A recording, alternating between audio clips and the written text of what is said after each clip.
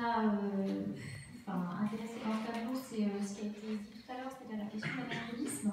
Donc on sent qu'on est dans quelque chose de très interprétatif.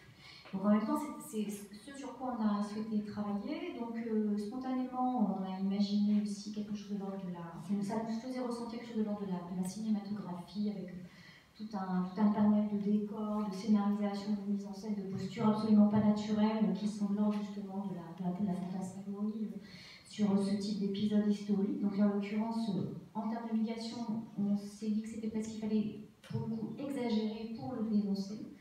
Et donc on nous a, euh, on a imaginé avoir plein plein plein de moyens, plein d'argent, enfin bref, vraiment super autant.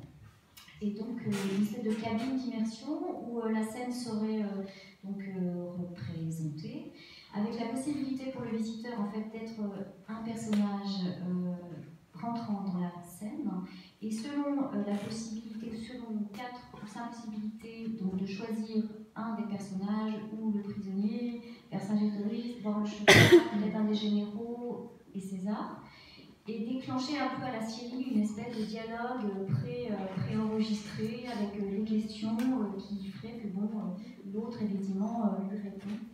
Donc on s'est dit que ça pouvait être justement alors, là aussi quelque chose d'un petit peu ludique et je ne sais pas techniquement parlant comment c'est possible, en tout cas nous c'est ce qui nous plaisait, c'est ce qui nous a semblé intéressant de développer dans cette scène.